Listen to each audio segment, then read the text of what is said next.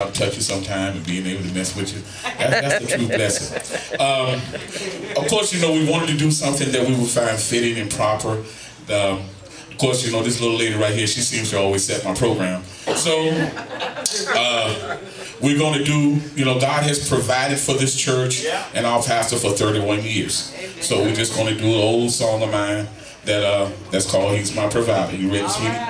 All right, so we're going to kind of lift up the pace a little bit, and we're going to get into the celebration. Okay, so I can't get you guys to hit me with number four. Come on, give me a little.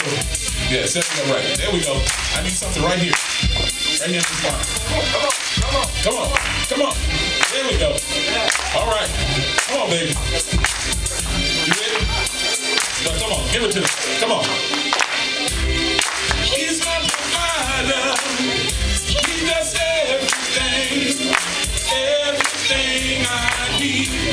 Cause he's my provider. He does everything, everything for me. I was a sinner.